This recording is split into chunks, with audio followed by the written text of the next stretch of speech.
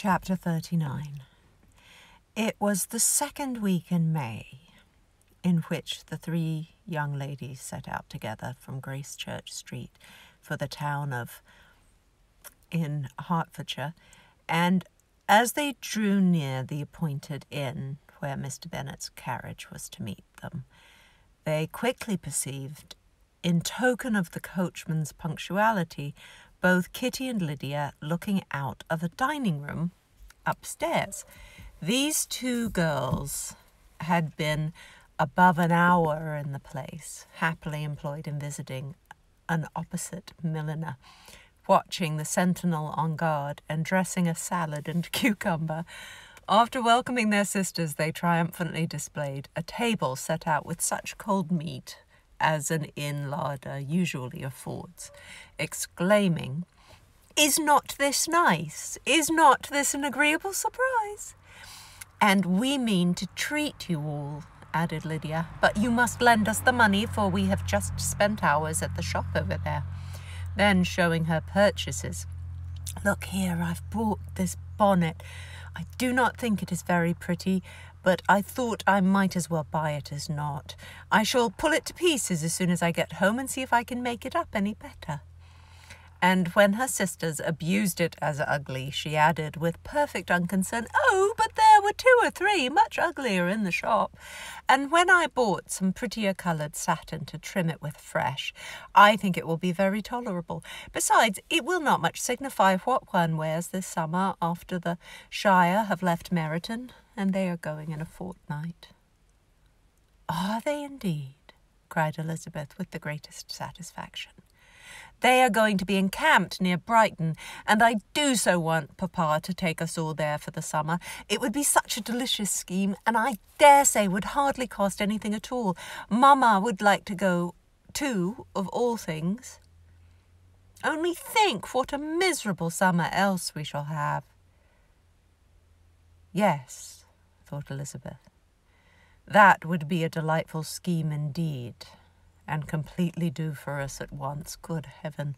Brighton and a whole camp full of soldiers to us, who have been overset already by one poor regiment of militia and the monthly balls of Meryton. Now, I have got some news for you, said Lydia as they sat down at table. What do you think? It is excellent news, capital news, and about a certain person we all like. Jane and Elizabeth looked at each other, and the waiter was told he need not stay. Lydia laughed and said, Ay, that is just like your formality and discretion. You thought the waiter must not hear, as if he cared. I dare say he often hears worse things said than I'm going to say, but he is such an ugly fellow. I'm glad he is gone.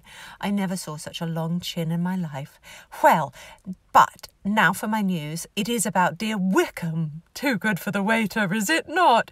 There is no danger of Wickham's marrying Mary King.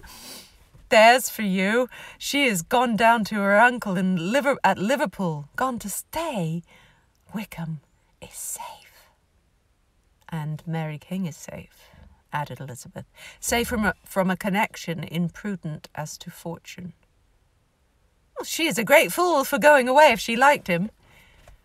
But I hope there is no strong attachment on either side, said Jane. I am sure there is not on his.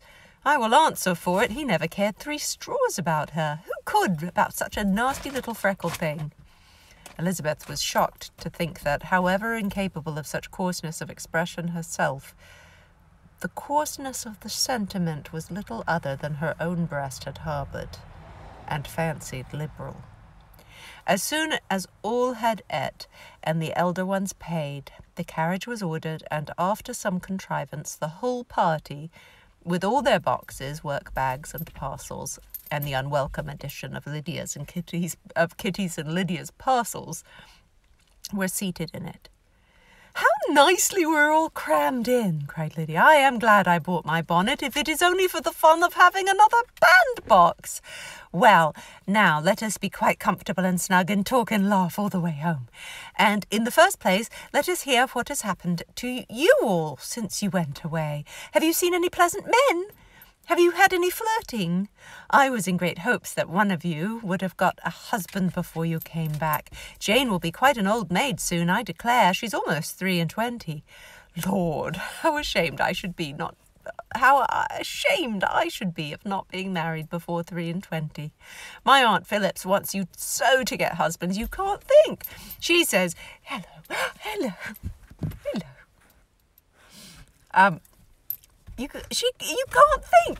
She says Lizzie had better have taken Mr. Collins, but I do not think there would have been any fun in it. Lord, how I should like to be married before any of you, and then I would chaperone you about to all the balls. Dear me, we had such a good piece of fun the other day at Colonel Forster's. Kitty and me were to spend the day there, and Mrs. Forster promised to have a little dance in the evening. By the by, Mrs. Forster and me are such friends. And so she asked the two Harringtons to come, but Harriet was ill, and so Pen was forced to come by herself. And then what do you think we did? We dressed up Chamberlain Chamberlain in women woman's clothes on purpose to pass for a lady. Only think what fun. Not a soul knew of it but Colonel and Mrs. Forster and Kitty and me, except my aunt, for we were forced to borrow one of her gowns. And you cannot imagine how well he looked. When Denny and Wickham and Pratt and two or three more of the men came in, they did not know him in the least. Lord, how I laughed. And so did Mrs. Forster. I think I should have died. And that made the men suspect something, and then they soon found out what was the matter. With such kinds of histories of their parties and good jokes did Lydia, assisted by Kitty's hints and additions, endeavour to amuse her companions all the way to Longbourn. Elizabeth listened as little as she could, but there was no escaping the frequent mention of Wickham's name. Their reception at home was most kind. Mrs. Bennet rejoiced to see Jane in undiminished beauty, and more than once during dinner did Mr. Bennet say voluntarily to Elizabeth, I am glad you are come back, Lizzie.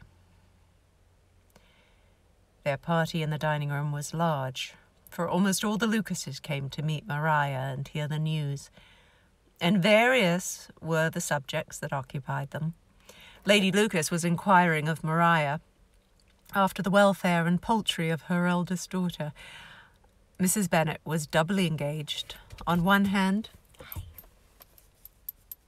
on one hand, collecting an account of the present fashions from Jane, who sat some way below her, and on the other, retailing them all to the younger Lucases, and Lydia, in a voice,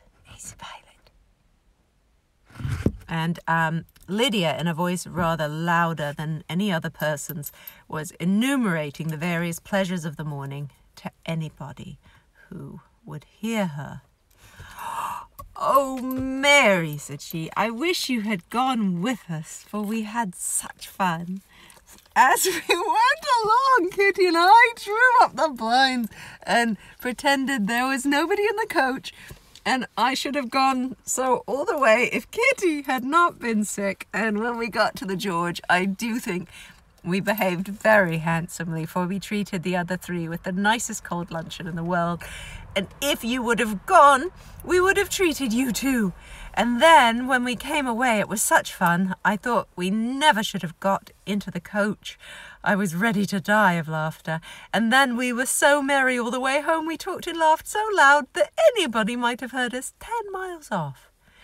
To this Mary very gravely replied, Far be it from me, my dear sister, to depreciate such pleasures.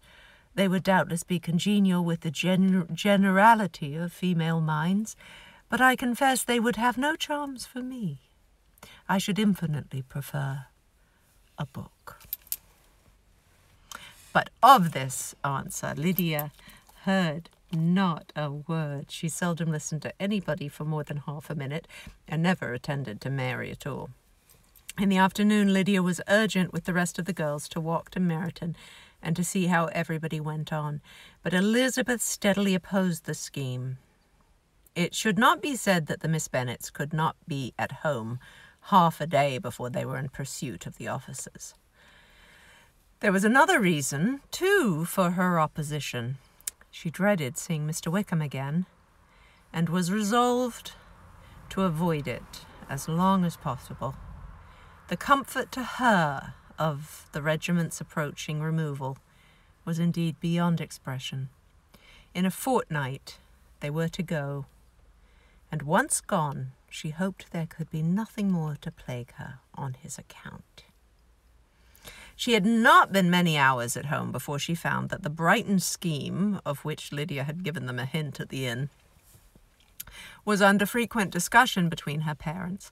Elizabeth saw directly that her father had not the smallest intention of yielding, but his answers were at the same time so vague and equivocal that her mother, though often disheartened, had never yet despaired of succeeding at last.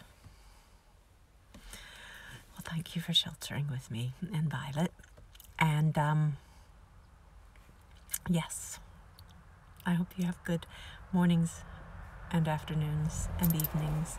And, um, I'll see you tomorrow.